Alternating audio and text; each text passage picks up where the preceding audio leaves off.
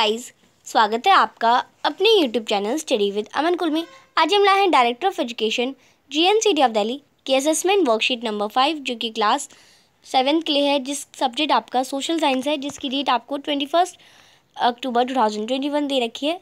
Name of the student and name of the class teacher आप fill कर लेंगे।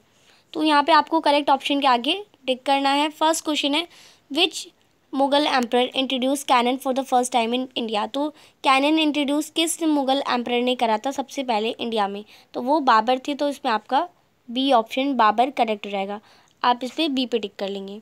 Second है which tradition did the Mughal use for succession यानी कौन सा ट्रेडिशन था जो मुगल अपनी सक्सेस के लिए यूज़ करते थे? प्राइमोगेनिक्चर या कॉन्फ्रेंसी या ए और बी दोनों या इनमें से कोई नहीं? तो इसमें आपका बी ऑप्शन का, कॉपरेंसी जो थी, वो वाली टेक्निक वो वाला ट्रेडिशन मुग़ल फॉलो करते थे।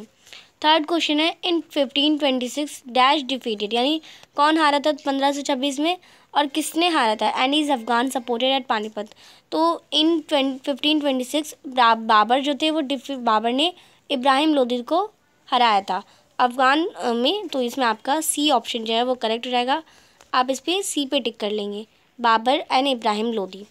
Fourth question है in twenty five fifteen twenty seven defeated Rana Sagar Rajput rulers and allies at जो जो पंद्रह सौ सत्ताईस में बाबर ने राणा सागर को हराया था। राजपूत रूलर्स और वो अलाइज कहाँ हुए थे? वो खानवा में अलाइज हुए थे। तो इसमें आपका सी ऑप्शन करेक्ट रहेगा आप इस पर सी पे टिक कर लेंगे। फिफ्थ क्वेश्चन है, वो change the theory of kingship kingship की थ्योरी किसने चेंज करी थी? अ टाइटल ऑफ़ एम्पर स्टैंड ऑफ़ सुल्तान यानी सुल्तान की जगह एम्पर नाम किसने दिया था? तो वो बाबर ने ही दिया था। मुग़ल एम्पर बने थे, पहले दिल्ली सुल्तान होते थे। एंड बाबर ने इसे सुल्तान को एम्पर का नाम दिया। तो इसमें आपका ए ऑप्शन करेक्ट रहेगा सिक्स क्वेश्चन है where is Humayun tomb built तो हुमायूं टॉम कहाँ पे है?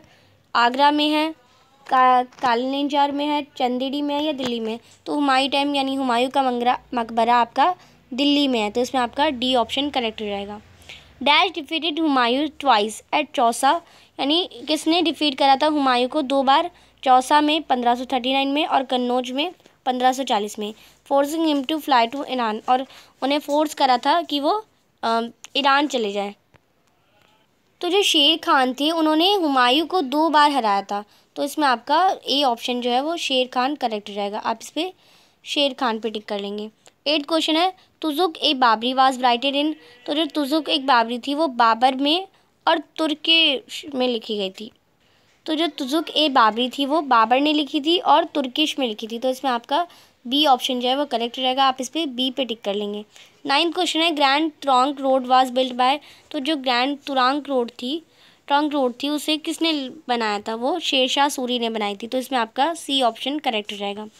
लास्ट क्वेश्चन है tenth what is true in relations in primogeniture तो क्या रिलेशन में प्राइमोगेनिक्शर में सही है?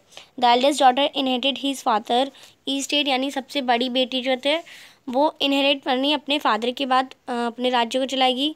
सेकेंड है dividing the inheritance equally among all the son यानी जो पूरी राज्य है उसे अपने जितने भी बेटे हैं उन सब में इक्वली डिस्ट्रीब्यूट कर दो। The eldest son inherited the father estate यानी सबसे बड़ा जो बेटा है, वो अपना सत्ता संभालेगा, या इनमें से कोई नहीं। तो इसमें आपका सी ऑप्शन जो है वो करेक्ट हो जाएगा। The eldest son inherited his father estate तो इसमें आपका सी ऑप्शन जो है वो करेक्ट आ जाएगा। आप इस पर सी पे टिक कर लेंगे। आज की जो आपकी वर्कशीट है वो कंप्लीट होती है। आई होप आपको अच्छे से वर्कशीट समझ आ गई होगी। चैनल को अभी तक सब्सक्राइब नहीं किया है तो प्लीज़ मेरे चैनल को सब्सक्राइब ज़रूर करें। और ये वीडियो अच्छी लगी तो इसे लाइक और शेयर ज़रूर करिएगा। Thanks for watching video bye bye guys